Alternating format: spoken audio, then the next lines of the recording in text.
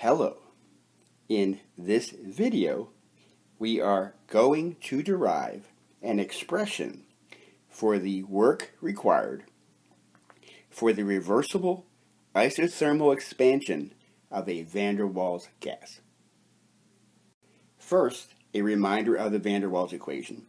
The pressure P is equal to RT divided by V minus NB minus AN squared over V squared where P is the pressure, T is the thermodynamic temperature, V is the volume, A and B are constants uh, specific to a particular gas in the van der Waals equation, and N is the number of moles of gas. The work, W, of reversible isothermal expansion is equal to minus the integral from V1 to V2 of P dV. Next, we simply substitute our expression for the pressure of a van der Waals gas into our integral here to get minus the integral from V1 to V2 of our pressure expression dV. Then we use the fact that the integral is a linear operator so that we can break up this integral into two integrals. Being careful, minus minus gives us plus in front of the second integral. Again, we can use the properties of integrals to tidy up. We can pull the RT out in front here, just as well as pulling the AN squared. So we can more clearly see the critical parts of the integral here, which is dv over v minus nb, and then dv over v squared. For the first integral, we realize that v minus nb is simply a function u.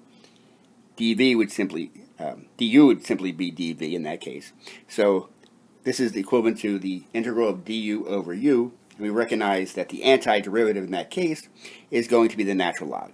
So the antiderivative here is going to be the natural log of v minus nb. And then applying the uh, fundamental theorem, we evaluate it at the limits of v1 and v2. And secondly, here we have the integral of dv over v squared. And sometimes it's easier to think of this as uh, v to the minus 2 power. So then we can use our exponent formula and realize that this is going to be minus v to the minus 1. So we have minus 1 over v evaluated between v1 and v2.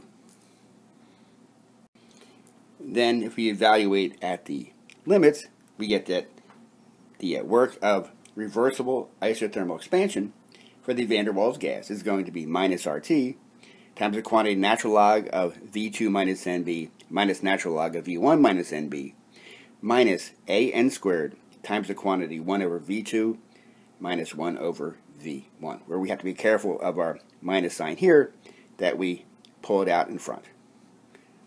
I thank you very much for your attention. Have a good one.